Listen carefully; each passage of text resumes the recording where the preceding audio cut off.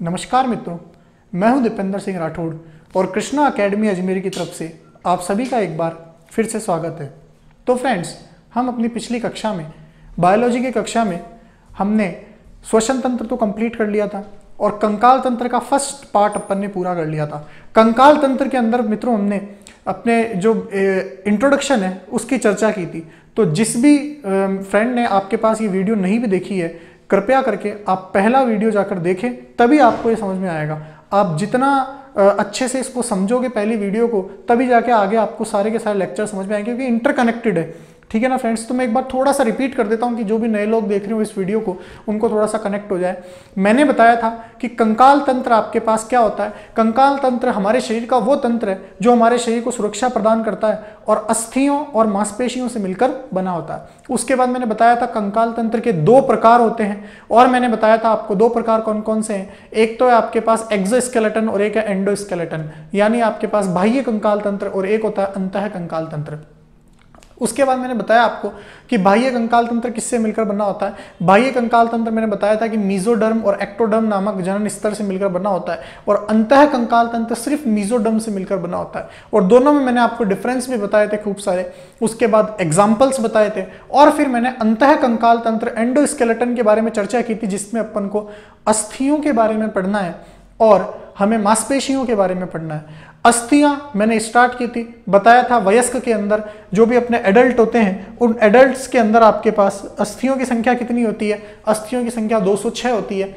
और इन 206 हड्डियों से बने कंकाल तंत्र को हम दो भागों में बांटते हैं। एक तो होता है आपका अक्षीय कंकाल तंत्र और एक होता है आपका उपांगीय कंकाल तंत्र। तो दो भागों में हम अस्थियों के कंकाल तंत्र को बांट सकते हैं, अक्षीय और उपांगीय। अक्षीय कंकाल तंत्र के अंदर मैंने आपको बताया था 80 हड्डियाँ होती है और उपांगीय कंकाल तंत्र के अंदर 126 हड्डियाँ होती है। अक्षीय कंकाल तंत्र के अंदर मैं एक बार फिर से रिपीट कर देता हूँ क्या क्या पढ़ा था अपन ने? मैंने आपको बताया था अक्षीय कंकाल तंत्र के अंदर सिर के अंदर कितनी हड्डियाँ होती है। तो सिर के अंदर मैंने बताया था आपको कि अक्षीय कंकाल तंत्र के अंदर सिर के अंदर आपके पास होती है उनतीस हड्डियाँ। ये मैंने आपको बताया था। उसके बाद मैंने आपके सिर के बाद में मैंने आपको बताया था कि पसलियाँ पसलियाँ कितनी होती है आपके पास? पसलियाँ होती है, चौबीस जोड़ी हड्डी से मिलकर बनी होती है। सॉरी बारह जोड़ी हड्डियों से मिलकर बनी होती है तो इनको ट्वेंटी फोर बोल देते हैं अपन। अच्छा उसके बाद में जो रीढ़ की हड्डी होती है, रीढ़ की हड्डी कितनी छोटी छोटी अस्थियों से मिलकर बनी होती है? 26 छोटी छोटी अस्थियों से मिलकर बनी होती है। उसके बाद में एक होती है छाती की हड्डी। और उसको चेस्ट बोलते हैं चेस्ट वाली हड्डी बोलते हैं, उसका स्ट्रनम नाम होता है, वो एक ही होती है आपके पास। तो ये कुल मिला के आपके पास 80 हड्डियों का कलेक्शन था, ये पूरा 80 हड्डियों का कलेक्शन था और ये आपके पास कहलाता है अक्षीय कंकाल तंत्र। तो इसी को हमारे को पढ़ना है, पहला। कि ये 206 हड्डियों में हमने जो अक्षीय कंकाल तंत्र बांटा है, ये 30 हड्डियाँ या जो आपके पास 80 हड्डियाँ हैं, वो किस प्रकार से वितरित होती है, ये हमें ध्यान रखना है। चलिए तो अपन स्टार्ट करते हैं। आज सबसे पहला सिर के अंदर कितनी हड्डियाँ हैं? उनतीस हड्डियाँ हैं। तो सबसे पहला अपन क्या पढ़ेंगे?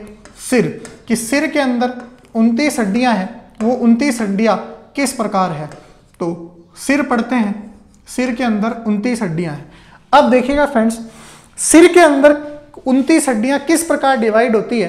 तो देखते हैं अपन। मैं आपको बताता हूँ, सबसे पहले देखिए, इसका वर्गीकरण किस प्रकार होता है। सबसे पहले आपके पास होता है कपाल।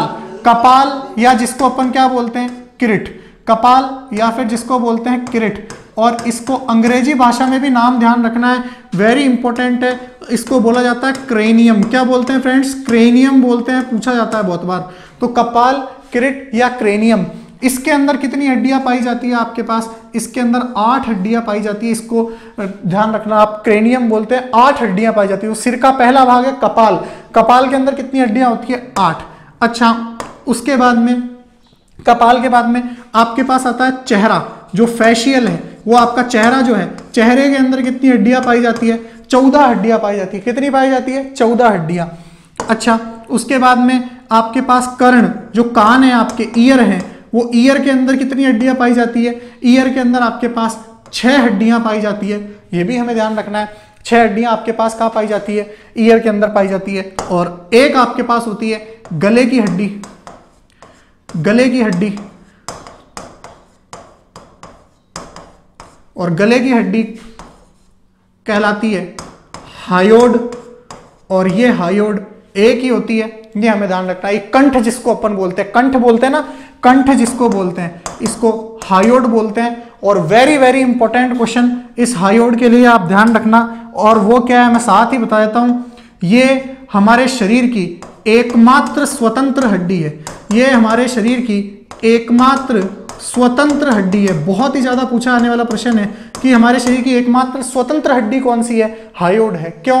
क्योंकि एकमात्र ऐसी हड्डी है जो किसी दूसरी अस्थि से कनेक्ट नहीं होती। सीधी की सीधी आपके पास कनेक्ट नहीं होती किसी से, ना इधर इधर, सिर्फ़ आपके पास स्वतंत्र होती है। इसलिए इसको क्या बोलते हैं? स्वतंत्र हड्डी बोलते हैं, कंठ वाली जो होती है।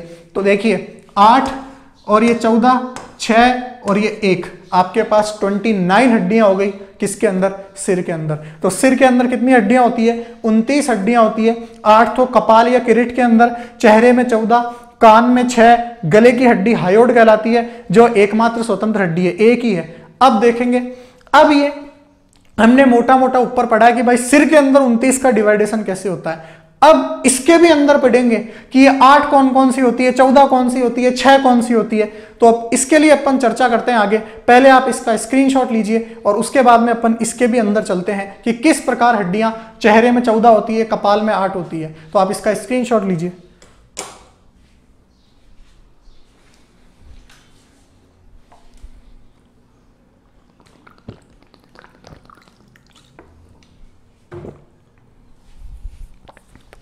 चलिए फ्रेंड्स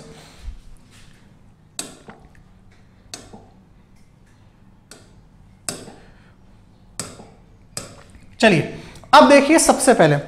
अभी तक मैंने आपको क्या बताया कि अक्षीय कंकाल तंत्र में 80 हड्डियाँ होती हैं। उन 80 हड्डियों में से सबसे पहले मैंने बताया कि सिर के अंदर आपके पास कितनी हड्डियाँ होती है? 29 हड्डियाँ होती है और उन 29 हड्डियों का अपन क्या पढ़ रहे हैं? वर्गीकरण पढ़ रहे हैं। तो सबसे पहले मैंने आपको बताया कि सिर के अंदर कपाल वाला जो पार्ट है, खोपड़ी जिसको बोलते हैं अपन, खोपड़ी वाला पार्ट है हमारा, उसके अंदर कितनी हड्डियाँ पाई जाती है? आठ हड्डियाँ पाई जाती है, कपाल या किरिट जिसको क्रेनियम बोलते हैं, आठ हड्डियाँ पाई जाती है। अब ये आठ कौन कौन सी होती है? सबसे पहले ऑक्सीपिटल ऑक्सीपिटल कितनी होती है आपके पास? एक हड्डी होती है ऑक्सीपिटल एक ही होती है. पैराइटल आपके पास दो होती है. टेम्पोरल आपके पास दो होती है. फ्रंटल आपके पास एक होती है. एथमाइड आपके पास एक होती है और एफ्रीनाइड कितनी होती है? आपके पास एक होती है. तो ये जो कपाल वाला पोर्शन है हमारा, उसके अंदर ये आठ हड्डियाँ पाई जाती है. आपको नाम वैसे तो ध्यान नहीं रखने हैं, लेकिन फिर भी अगर आ जाए तो मैंने बता दिया। इनके नाम जो इंपॉर्टेंट होंगे मैं आपको बता दूँगा, लेकिन मेरा काम है आपको डिटेल बताना ताकि जितना भी आपका क्वेश्चन किसी भी एग्ज़ाम के अंदर हो तो आपके क्रैक हो जाए। तो ये आठ हड्डियाँ कपाल के अंदर पाई जाती है, जिनका वर्गीकरण ये है। आप टोटल इनका करोगे तो मेरे हिसाब से आठ आएगा। तो ये आठ हड्डियाँ किसकी हो गई? आपके पास कपाल यानी किरिट की। ऑक्सीपिटल एक पैराइटल एक टेम्पोरल दो फ्रंटल एक एथमाइड एक एफ्रीनाइड एक। अब इसमें से और कुछ नहीं पूछा जाएगा आपसे। बस इतना डिटेल काफ़ी है कि कपाल वाले पोर्शन के अंदर ही जो हमारा कपाल वाला पोर्शन होता है, उसके अंदर आठ हड्डियाँ इस प्रकार से वर्गीकृत की जाती है। चलिए, अब आप इसका स्क्रीनशॉट लीजिए। उसके बाद अपन सिर के दूसरे भाग पे पढ़ते हैं, कपाल के बाद में चेहरा। तो आप इसका स्क्रीनशॉट लीजिए।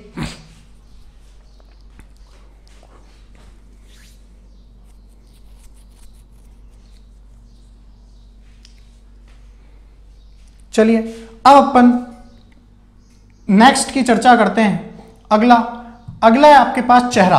तो चेहरा वाला पोर्शन अब देखिए, कपाल के अंदर आठ हो गई। चेहरे के अंदर कितनी होती है? चेहरे के अंदर हमें पता है कि चौदह हड्डियाँ पाई जाती है। चौदह अस्थियाँ पाई जाती है, जो हमारा चेहरा है। कान नहीं है शामिल इसके अंदर। कान शामिल नहीं है, सिर्फ़ हमारा चेहरा चेहरा शामिल है। उसमें चौदह हड्डियाँ पाई जाती है, कान अलग है। तो चौदह हड्डियों का वर्गीकरण किस प्रकार होता है? नेजल नेजल हड्डियाँ कितनी होती है? दो होती है चेहरे के अंदर। टर्बाइनल हड्डियाँ कितनी होती है? दो होती है आपके पास। लेक्राइमल हड्डियाँ कितनी होती है? दो। और अब जो जो इंपॉर्टेंट है, मैं उनके बारे में बता रहा हूँ। लेक्राइमल वेरी वेरी इंपॉर्टेंट इसको आँख की अस्थि बोलते हैं। क्या बोलते हैं फ्रेंड्स इसको? इसको आँख की अस्थि बोलते हैं। आँख की अस्थि। तो ये लेक्राइमल अस्थि किसकी अस्थि होती है? आँख की अस्थि होती है। तो आँख में पाई जाने वाली अस्थि कौन सी है? लेक्राइमल बहुत एग्ज़ाम में पूछा गया क्वेश्चन है, कितनी होती है संख्या? दो। क्योंकि हमारी आँखें कितनी होती है? दो।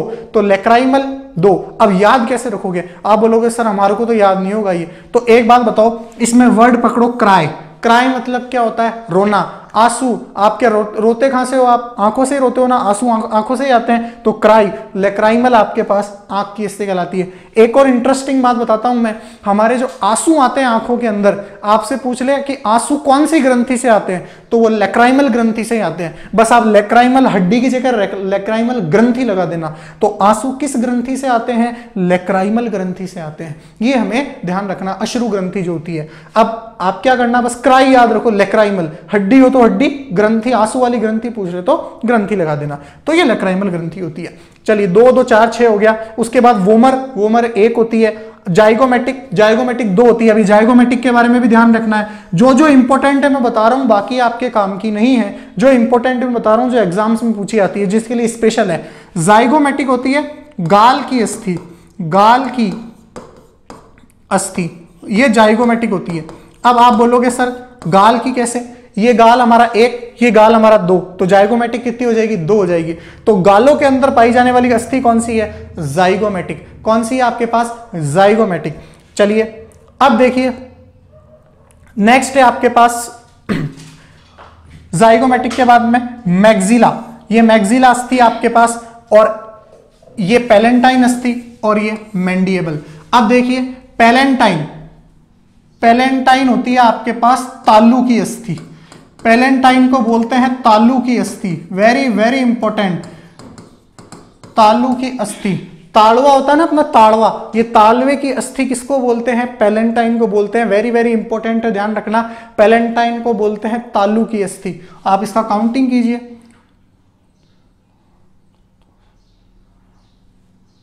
चलिए। तो ये आपके पास पेलेंटाइन तालू की अस्थि होती है और ये मैंडिएबल। अभी मैक्सिबल मैंडिएबल दोनों के बारे में बताऊँगा मैं स्पेशल रूप से। चलिए तो ये आपको आना चाहिए, ध्यान रखना। ये दोनों आपके पास वेरी इंपॉर्टेंट है। एक तो आँखों वाली अस्थि का नाम क्या है आपके पास? लेक्राइमल और एक तालू वाली अस्थि पेलेंटाइन ये दोनों आपके पास 100 परसेंट पूछे आते हैं। तो फेशियल चेहरे के अंदर 14 अस्थियाँ होती है आपके पास। ये हमें ध्यान रखनी है। नेजल दो टर्बाइनल दो लेक्राइमल दो वोमर एक जाइगोमेटिक दो मैग्जिला दो पेलेंटाइन दो और मैंडिएबल एक। अब आप इसका स्क्रीनशॉट ले सकते हैं। तो फ्रेंड्स आपने स्क्रीनशॉट ले लिया होगा। अब देखिए, मैं जो आपको बता रहा था कि हमें मैग्जिबल मैंडिकल के बारे में भी पढ़ना है। तो देखते हैं हम। देखिए, हमारे जबड़े की, ये ध्यान रखना वेरी इंपॉर्टेंट है। जबड़े की जो अस्थियाँ होती है, हमारा जो जबड़ा होता है जबड़े का जो ऊपर वाली अस्थि होती है, ऊपर वाले जबड़े के अंदर जो अस्थि होती है, उसका नाम है मैग्जिबल। ये आपके पास मैग्जिला जिसको आप बोल सकते हो, हिंदी के अंदर, मैग्जिला। और नीचे वाली जो अस्थि होती है, उसका नाम है मैंडिएबल, जो मैंने ऊपर लिखा है, मैंडिबल। तो ये तो ऊपर वाली है और ये नीचे वाली है। तो ऊपर वाले जबड़े की अस्थि का नाम क्या है? मैग्जिबल, और नीचे वाले जबड़े की अस्थि का नाम क्या है? मैंडिएबल। इनके बारे में खास बात भी है, जो मैं आपको आगे बताऊँगा। अभी सिर्फ़ आप ध्यान रखना, चेहरे के अंदर कितनी हड्डियाँ पाई जाती है? चौदह। उसमें से मेन मेन कौन सी है? आँख की अस्थि का नाम क्या है? लक्राइमल। उसके बाद गाल की अस्थि का नाम क्या है? जाइगोमेटिक उसके बाद में पेलेंटाइन तालू की अस्थि, ताड़वा जिसको बोलते हैं, और मैग्जिला मैंडिएबल आपके पास, ये जबड़े की अस्थि है, ऊपर वाली मैग्जिला और नीचे वाली मैंडिएबल अच्छा ये आप सोचोगे नोजल और ये क्या है? ये नाक से संबंधित होती है आपके पास, नोजल, वूमर, ये नासा छिद्रों से संबंधित होती है नोजल वाली। तो ये आपके ज़्यादा काम की नहीं है, जो ज़्यादा एग्ज़ाम्स में आती है, वो मैंने आपको बता दी है। इनको आप कंठस्थ रखना बिल्कुल। मेरे हिसाब से आपको किरिट, यानी कपाल के बारे में समझ में आ गया होगा। कपाल की हड्डियाँ होती है आठ और चेहरे की कितनी होती है? चौदह। अब अपन तीसरे पोर्शन की ओर चर्चा करते हैं और तीसरा पोर्शन हमारा है। तीसरा पोर्शन हमारा है कि रीढ़ की हड्डी, जिसको आप बोलते हो। चलिए तो तीसरा पोर्शन स्टार्ट करते हैं नेक्स्ट। Third number. अब देखिए, तीसरा नंबर क्या है? तीसरा नंबर मैंने आपको बताया कि भाई सिर के अंदर सबसे पहला तो है कपाल। कपाल के बाद में मैंने दूसरा क्या बताया आपको? कपाल के बाद में दूसरा मैंने आपको बताया कि भाई फेसियल बोन है। तीसरा है आपके पास कान के बारे में। क्योंकि हम सिर की बात कर रहे हैं तो कितनी हो चुकी है आपके पास? चौदह तो चेहरे की हो चुकी है। आठ किसकी हो चुकी है आपके पास? आठ कपाल की हो चुकी है। टोटल कितनी हो गई? बाईस हो गई। अब बसती है कान की अस्थि। चलिए तो कान की अस्थि की और चर्चा करते हैं। अब सब ध्यान से देखिएगा, इधर वेरी वेरी इंपॉर्टेंट है। पूछा जाता है इनसे प्रश्न। तो देखते हैं अपन कान की अस्थि तीसरा नंबर है आपके पास कान की अस्थि कान की अस्थि अब देखिए, कान के अंदर एक कान की मैं बात करूँ तो एक कान में तीन अस्थियाँ पाई जाती है। तो दो कान में कितनी हो जाएगी? छह। लेकिन उससे पहले मैं आपको छोटी सी एक चर्चा करते हैं अपन। सबसे पहले अगर मैं आपसे बोलूँ कि कान के लिए, कान के कितने भाग होते हैं तो आप मुझे बताएँ जरा कान के कितने भाग होते हैं। या फिर मैं एक बात बोलूँ आपसे सबसे पहले कि कान का जो पर्दा है, कान का बाहरी भाग है, कान का बाहरी भाग, ये कान का बाहरी भाग क्या कहलाता है? आपसे पूछ ले कोई कि कान का बाहरी भाग क्या कहलाता है? एक क्वेश्चन आ जाए आपसे कि कान का बाहरी भाग क्या कहलाता है? तो आप क्या बोलोगे? कान का बाहरी भाग कहलाता है कर्ण पल्लव क्या कहलाता है फ्रेंड्स कर्ण पल्लव और इसको अंग्रेज़ी में बोलते हैं पिन्ना। वेरी इंपॉर्टेंट क्वेश्चन है पूछा जाता है, कान का बाहरी भाग क्या कहलाता है? पिन्ना कहलाता है कर्ण पल्लव कहलाता है। अब ध्यान से सुनिएगा, मैं बात करता हूँ कान के भागों की। तो कान के आपके पास कितने भाग होते हैं? कान के तीन भाग होते हैं। ये हमें ध्यान रखना है कि ये जो कान होता है, इसके तीन भाग होते हैं कौन कौन से? सबसे पहला होता है बाह्य भाग, जिसको मैंने आपके पास बोल दिया पिन्ना। दूसरा होता है अंतः भाग इंटरनल पोर्शन और आपके पास तीसरा सॉरी ये मध्य भाग होता है मीडियल पोर्शन तो ये मध्य भाग होता है। और तीसरा आपके पास क्या होता है? तीसरा होता है आपके पास अंत भाग। तो तीन पोर्शन होते हैं कान के, बाह्य भाग, मध्य भाग और ये अंत भाग। तीन पोर्शन होते हैं और मैंने क्या बताया, कान के अंदर अस्थियाँ भी कितनी पाई जाती है? तीन। लेकिन एक इंटरेस्टिंग फैक्ट है, एक चीज़ ध्यान रखना, कान के अंदर जो अस्थियाँ पाई जाती है, वो मिडिल पोर्शन के अंदर पाई जाती है। कहाँ पाई जाती है? मध्य भाग के अंदर पाई जाती है। ये हमें ध्यान रखना है, कान के अंदर अस्थियाँ किस भाग से के अंदर पाई जाती है? इसी भाग के अंदर। इस मध्य भाग के अंदर अस्थियाँ पाई जाती है, यही अस्थियाँ पाई जाती है, ये हमें ध्यान रखना है। तो कान का भारी भाग कर्ण पल्लो पिन्ना कहलाता है, कान के तीन भाग होते हैं, और कान के अंदर जो अस्थियाँ हैं, तीनों कहाँ पाई जाती है? मध्य भाग में। अब एक चीज़ ध्यान रखना, एक क्रम ध्यान रखना, मिस। ये मिस वर्ड ध्यान रखना। आप मान लो किसी को मिस कर रहे हो, ठीक है ना? किसी को याद कर रहे हो, मिस। मिस वर्ड ध्यान रखना। मिस का मतलब क्या है? अब ध्यान रखना एम का मतलब है मेलियस। आई का मतलब है इंसियस और एस का मतलब है स्टेपिस।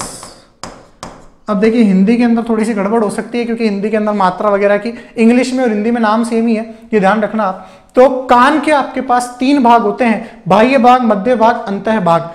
और हड्डियों का क्रम क्या रहता है? मिस। अब ये क्रम क्या बोला है मैंने? देखो बाहर से लेके बाह्य भाग से अंत भाग तक तो क्रम रहेगा, ये आपके पास मिस का। और अगर आपसे पूछ ले कि अंत भाग से बाह्य भाग की तरफ़ कौन सा है तो आप उल्टा कर देना, ये क्रम रह जाएगा, वो सिम हो जाएगा। तो मिस तो रहेगा बाह्य से अंत तक, और सिम क्या हो जाएगा? अंत से बाह्य तक। ऐसा क्वेश्चन पूछा जाता टफ एग्ज़ाम्स में। तो कान की तीन अस्थियों के नाम क्या है? मेलियस इंसियस और स्टेपिस। और अब आपको एक चीज़ और ध्यान रखना है। इसके लिए मैं एक बहुत अच्छी बात बताता हूँ आपको, जो एग्ज़ाम में पूछी जाती है। ये जो मेलियस है, ये मेलियस जो है, इस मेलियस को आपके पास, इस मेलियस का जो आकार होता है, वो हथौड़े जैसा होता है। इसका आकार कैसा होता है? हथौड़े जैसा। हथौड़े जैसी हड्डी होती है। जैसा अपना हथौड़ा होता है ना, उस तरीके का आकार होता है इस मेलियस का।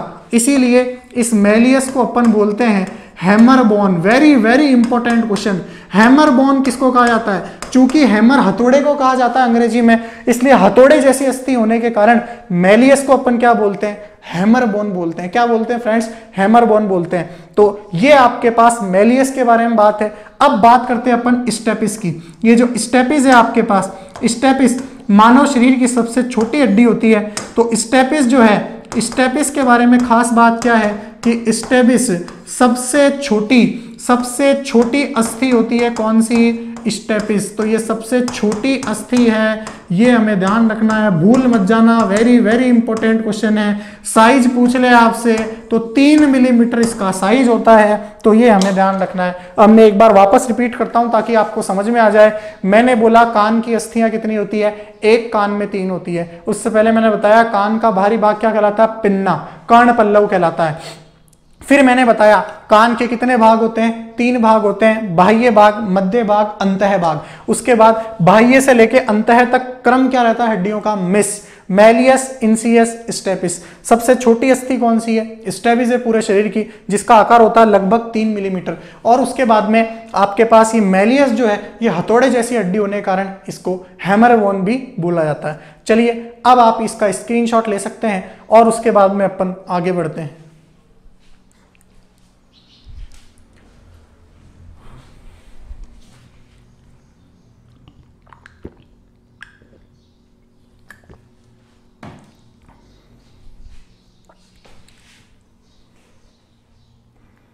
चलिए फ्रेंड्स मेरे हिसाब से आपको ये बात समझ में आ गई होगी। अब देखिएगा नेक्स्ट चीज़ की अपन चर्चा करते हैं। चौथा बस्ता पोर्शन आपके पास फोर्थ पोर्शन जो हमारे कंठ की हड्डी है, सिर के अंदर, कंठ की हड्डी, और उस कंठ की हड्डी का नाम है हायोड कंठ की हड्डी का नाम क्या है? हायोड जिसको बोलते हैं अपन। ठीक है ना? इसको कंठ बोलते हैं या हसली भी बोलते हैं। आपने सुना होगा बच्चे के अंदर हसली जो होती है, ठीक है ना? तो ये हमें ध्यान रखना है, कंठ की हड्डी हायोड बोलते हैं इसको।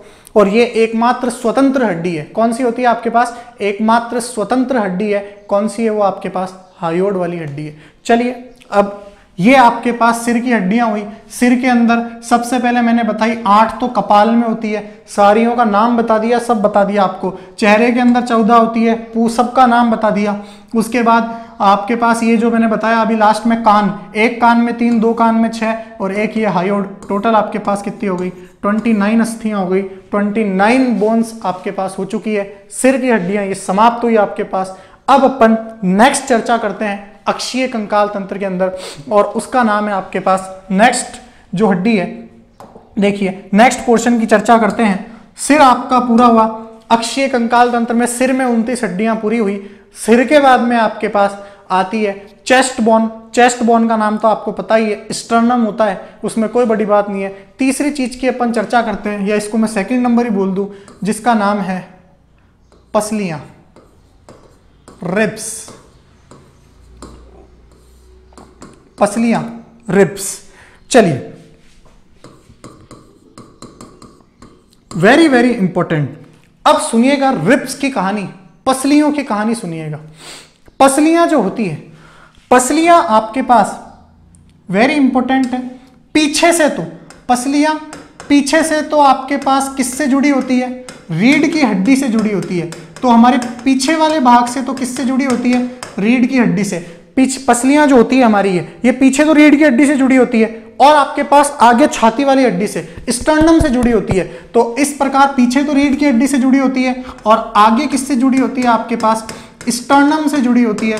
स्टर्नम आपके पास क्या है? छाती की हड्डी। तो पसलियाँ ये जो है हमारे, पीछे रीढ़ की हड्डी से और आगे छाती वाली हड्डी से स्टर्नम से जुड़ी होती है। चलिए, अब देखिए कैसे जुड़ी होती है। तो इसकी चर्चा अपन करते हैं। तो मैं आपके पास एक चित्र बनाता हूँ। आप जरा ध्यान से देखिएगा इसको।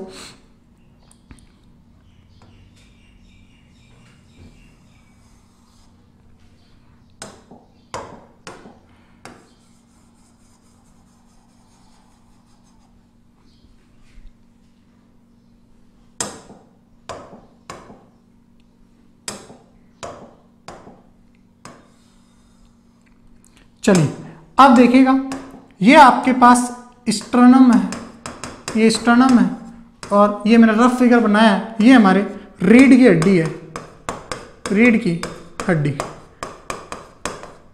अब देखिएगा फ्रेंड्स मैं बात करता हूँ कि पसलियाँ आपके पास कितनी जोड़ी होती है। तो पसलियाँ आपके पास चौबीस तो होती है, कुल बारह जोड़ी होती है। अब देखिएगा ये कैसे बनी होती है। तो ध्यान से सुनना, ये पसलियाँ जो है इस प्रकार रीढ़ की हड्डी से चल के ये आपके पास आती है स्टर्नम तक। ये दो, ये तीन, ये चार, पाँच छ और ये सात। अब देखिएगा, ये मैंने सात क्या बनाई है? ये आपके पास, आप तो बोलोगे तो एक एक ही है तो सात, ये सात जोड़ी है।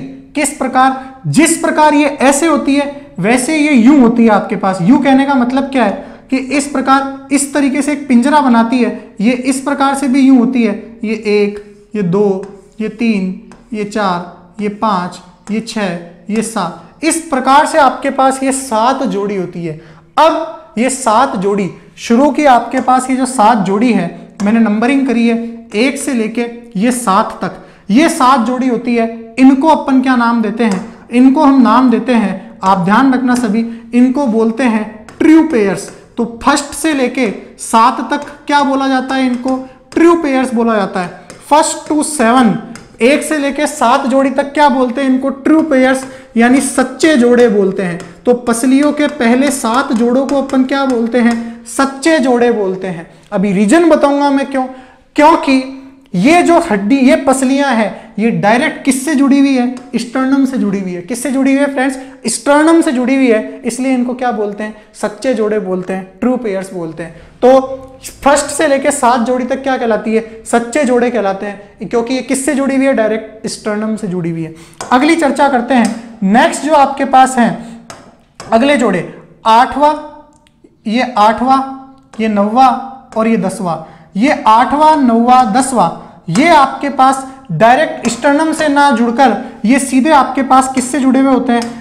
ये थोड़ा सा मिस्टेक हो गई इसके अंदर।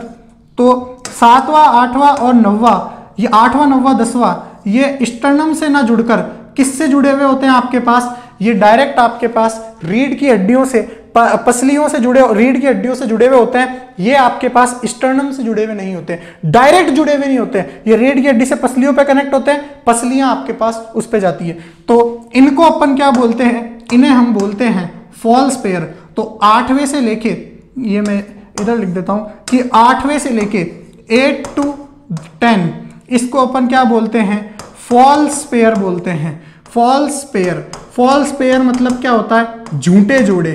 और झूठे जोड़े का मतलब क्या है? ये आपके पास डायरेक्ट स्टर्नम से कनेक्ट नहीं होते।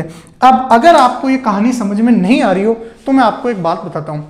अगर आप कभी शिवरात्रि के दिन अगर दूध चढ़ाने गए हो शिव जी के शिवलिंग के ऊपर तो आपने देखा होगा शुरू शुरू के अंदर तो आराम से सब चढ़ा के आते हैं, लेकिन अब जब ज़्यादा भीड़ हो जाती है तो क्या करते हैं कि बहुत सारे जने होते हैं तो एक ही जना सबके हाथ लगा लेता है। वो एक तो शिवलिंग के ऊपर दूध डाल रहा होता है और बाकी सब उसके हाथ लगा लेते हैं कि कौन जाए इतना आपके पास दूर, सीधा हाथ लगा लिया उसके कि हाँ मेरा भी मान लेंगे भगवान। जैसे उनके एजेंट है कि हाँ भगवान के कहे कि तू बस हाथ लगा ले, इसके ये मेरा एजेंट है, मैं मान लूँगा तेरा। ठीक है ना? तो इस तरीके से वो सोचते हैं कि भाई हाँ मैं हाथ लगा लूँगा, बस इसके तो मान लेंगे भगवान। तो इस प्रकार जो असली के अंदर शिवलिंग के ऊपर दूध चढ़ा रहा है, वो तो है सच्चा जोड़ा। और जो उसके हाथ लगा रहा है उस आदमी के कि भाई हाँ वो चढ़ा रहा है तो मेरा भी मान लेंगे भगवान। वो है झूठा जोड़ा, क्योंकि वो डायरेक्ट स्टर्नम से, यानी डायरेक्ट शिवलिंग से कनेक्टेड नहीं है। वो आपके पास रीढ़ की हड्डी से, इससे कनेक्टेड है रिप्स से, और रिप्स कनेक्टेड है उससे। तो ये जो तीन जोड़े होते हैं, आठवें नब्बे दसवें, इनको अपन क्या बोलते हैं? इनको बोलते हैं झूठे जोड़े, क्योंकि ये डायरेक्ट कनेक्ट नहीं होते स्टर्नम से। अच्छा लास्ट ग्यारहवें और बारहवें बसते हैं, वो भी बता देते हैं, सर, ये क्या होते हैं? तो ये देखो,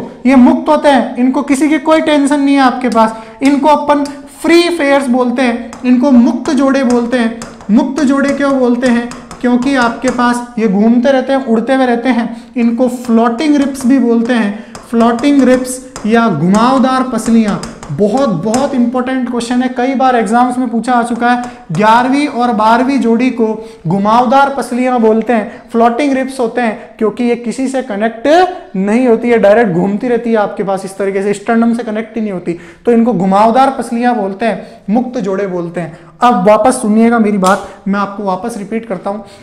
मैंने बोला, पसलियाँ पीछे से तो रिब किससे जुड़ी होती है आपके पास? रीढ़ की हड्डी से। और आगे किससे जुड़ी होती है? स्टर्नम से। अब यहीं से एक क्वेश्चन बनता है, मैं पहले वो बताता हूँ आपको। एक चीज़ आपसे पूछ ली जाए, ये पीछे तो किससे जुड़ी हुई रीढ़ की हड्डी से और आगे किससे जुड़ी हुई स्टर्नम से? तो क्या ये मिलके, ये जोड़े मिलके देखो, एक पिंजरा नहीं बन रहा है क्या ये?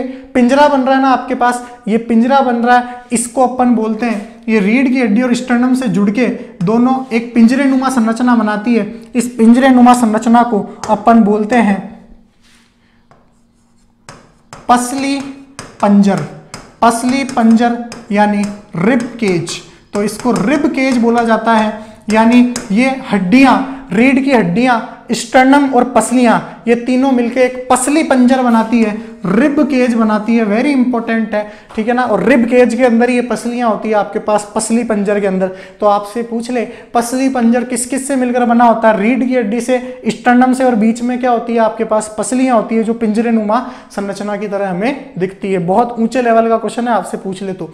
अच्छा उसके बाद पसलियाँ आपके पास कितनी जोड़ी होती है? बारह जोड़ी होती है। पहले सात जोड़ी तो कहलाती है सच्ची पसलियाँ, क्योंकि वो डायरेक्ट किससे कनेक्ट होती है? स्टर्नम से। उसके बाद आठवीं, नवीं, दसवीं क्या कहलाती है? झूठे जोड़े, क्योंकि वो डायरेक्ट स्टर्नम से कनेक्ट नहीं होती। और ग्यारहवीं और बारहवीं जोड़ी फ्लोटिंग रिप्स कहलाती है, घुमावदार पसलियाँ कहलाती है, क्योंकि मुक्त अवस्था में पाई जाती है। ये पसलियों की कहानी आपके पास क्या हुई?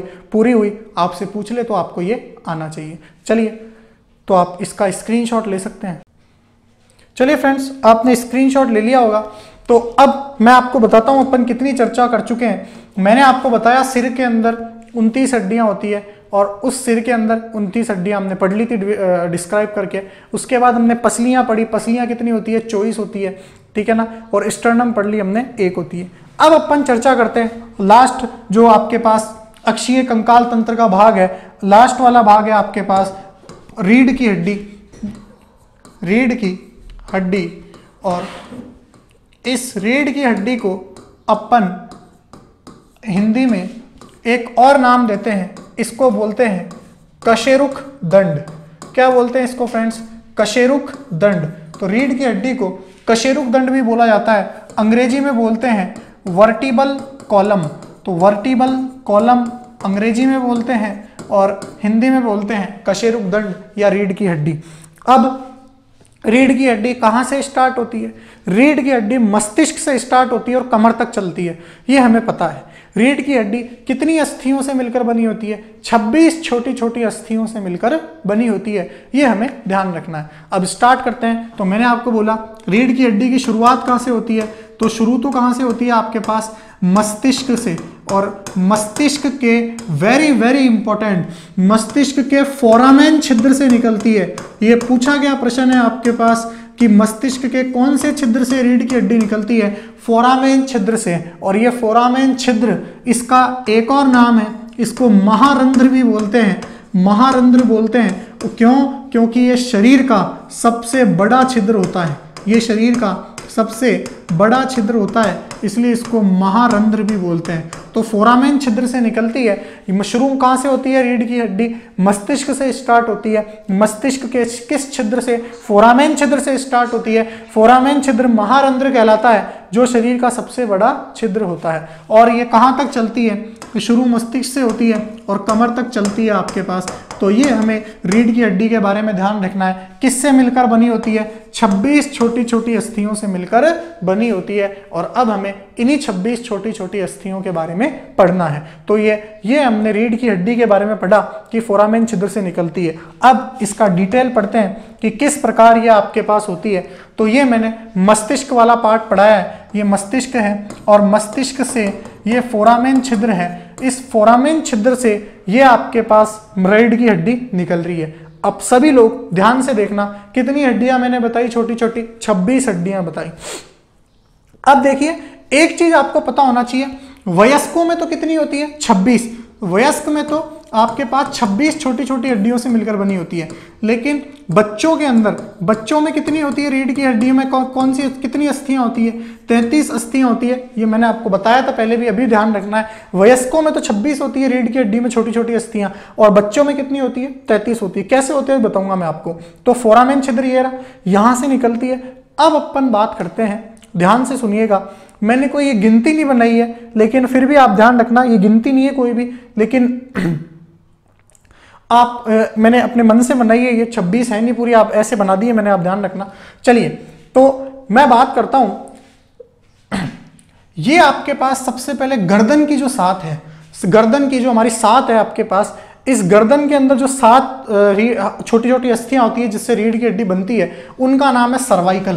क्या नाम है फ्रेंड? सर्वाइकल। सातों को क्या नाम देते हैं? सर्वाइकल नाम देते हैं। लेकिन इनके अंदर एक इंपॉर्टेंट है इन गर्दन की सातों में से इन गर्दन के अंदर ही सात में से पहली का नाम क्या है? पहली का एक स्पेशल नाम है, उसको बोलते हैं एटलस क्या नाम है आपके पास? एटलस नाम है, पूछा जाता है। और दूसरी का नाम क्या है? दूसरी का नाम है एक्सिस तो पहली का नाम तो है एटलस और दूसरी का नाम क्या है? एक्सिस मैंने आपको बोला रीढ़ की हड्डी 26 छोटी छोटी हड्डियों से मिलकर बनी होती है। अब उसमें पहली सात सात हड्डियाँ गर्दन में होती है, गर्दन वाले पार्ट में। तो उन गर्दन वाली हड्डियों को क्या बोलते हैं? सर्वाइकल बोलते हैं। लेकिन उनमें से फ़र्स्ट और सेकंड वाली जो होती है, ये फ़र्स्ट और ये सेकंड ये फ़र्स्ट और ये सेकंड इनका स्पेशल नाम है एटलस और एक्सिस दोनों ध्यान रखना। वक्ष हमारे चेस्ट वाले पार्ट में बारह हड्डियाँ होती है रीढ़ की, उसको अपन थोरेसिक बोलते हैं। क्या बोलते हैं उनको? थोरेसिक बोलते हैं। नाम ध्यान रखना। उसके बाद कमर वाले पोर्शन में पाँच हड्डियाँ होती है, जिनको अपन लंबर बोलते हैं। क्या बोलते हैं उनको अपन? लंबर बोलते हैं। ये आप ध्यान रखना। कितनी हो गई? चौबीस हो गई। बारह, पाँच और सात। चौबीस हो गई आपके पास। उसके बाद बची पच्चीसवीं और छब्बीसवीं। पच्चीसवीं हड्डी को अपन बोलते हैं सैक्रम त्रिक कशेरुका क्या बोलते हैं इसको? सैक्रम बोलते हैं त्रिक कशेरुका तो 25वीं रीढ़ की हड्डी, रीढ़ की हड्डी जो 26 बनी होती है छोटी छोटी हड्डियों से, उसमें 25 नंबर वाली को क्या बोलते हैं अपन? सैक्रम बोलते हैं त्रिक कशेरुका बोलते हैं। अब ध्यान रखना, ये कशेरुका वर्ड क्या है? मैं आपको बोला कि रीढ़ की हड्डी जो होती है वो 26 छोटी छोटी हड्डियों से मिलकर बनी होती है।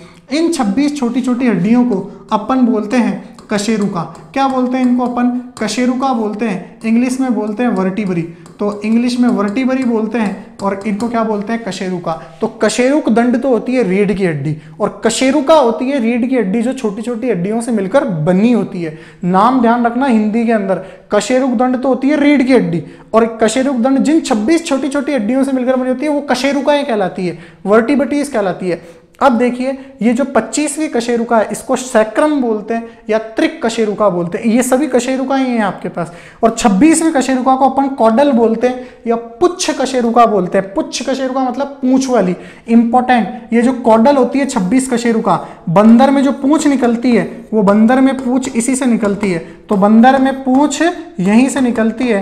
ये हमें ध्यान रखना, बंदर में पूछ यहीं से निकलती है। छब्बीसवीं कशेरुका से बंदर में पूछ निकलती है वेरी इंपॉर्टेंट है। आपसे पूछ रहे बंदर में पूछ किस कशेरुका से निकलती है? कॉडल से निकलती है।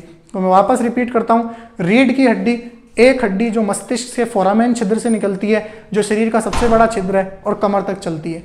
कितनी हड्डियों से मिलकर बनी होती है? छोटी छोटी 26 हड्डियों से, जिनको कशेरुका बोलते हैं वर्टिबटीज बोल वर्टिबरी बोलते हैं। उसके बाद गर्दन के अंदर सात होती है सर्वाइकल बोलते हैं। फ़र्स्ट और सेकंड को एटलस और एक्सिस नाम देते हैं। वक्ष के अंदर, ये एटलस और एक्सिस इन्हीं सातों के अंदर शामिल है। वक्ष के अंदर बारह हड्डियाँ होती है, थोरेसिक जिनको बोलते हैं, कमर के अंदर पाँच होती है, लंबर बोलते हैं, और पच्चीसवीं हड्डी जो है उसको सैक्रम और छब्बीसवीं को कॉडल यानी पुच्छ कशेरुका बोलते हैं, जहाँ से बंदर की क्या निकलती है, पूछ निकलती है। तो ये आपके पास कितनी हो गई?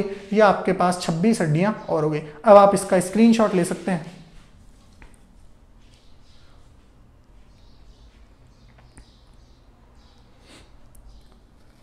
चलिए दोस्तों तो मेरे हिसाब से आपको ये कहानी समझ में आई होगी। मैं एक बार रिपीट करता हूँ, क्या बोला मैंने? मैंने आपको बताया कि अक्षीय कंकाल तंत्र 80 हड्डियों से मिलकर बना होता है। सिर के अंदर कितनी हड्डियाँ होती है? सिर के अंदर 29 होती है और उसमें मैंने सिर के अंदर 29 हड्डियाँ होती है। उस 29 को मैंने कैसे बांटा? कपाल। कपाल के अंदर कितनी होती है? आठ। उसके बाद मैंने बोला चेहरा। चेहरे के अंदर कितनी होती है? चौदह। उसके बाद में मैंने बोला कंठ। कंठ के अंदर कितनी होती है? एक। ये आपके पास और उसके बाद में मैंने आपको बोला कर्ण। कर्ण के अंदर कितनी होती है? छः तो ये उनतीस हड्डियाँ हो नहीं हुई। ये बिल्कुल हो गई। उसके बाद में मैंने आपको बताया छाती वाली हड्डी। वो तो स्टर्नम है ही। तो एक स्टर्नम है ही। उसके बाद में मैंने बताया पसलियाँ कितनी होती है? रिप्स रिप्स मैंने आपको बताई। होती हैं चौबीस यानी बारह जोड़ी। पूरी कहानी समझी हमने। उसके बाद में रीढ़ की हड्डी किन छोटी छोटी हड्डियों से मिलकर बनी होती है? 26 से मिलकर बनी होती है। जब आप इनका टोटल करोगे तो टोटल आपके पास आएगा 80 और ये मेरे हिसाब से 80 की कहानी 80 हड्डियों को एक एक को गिन गिन के मैंने आपको बता दिया है। इससे बाहर अक्षीय कंकाल तंत्र से आपके पास क्वेश्चन नहीं जाएगा और ना आपको पढ़ना है। व्यर्थ है। आप इतना पढ़ लोगे, काफ़ी है। चलिए तो ये मैंने अक्षीय कंकाल तंत्र पढ़ाया। अगली कक्षा के अंदर हम उपांगीय कंकाल तंत्र, यानी अपेंडिकुलर आपके पास स्केलेटन सिस्टम की चर्चा करेंगे।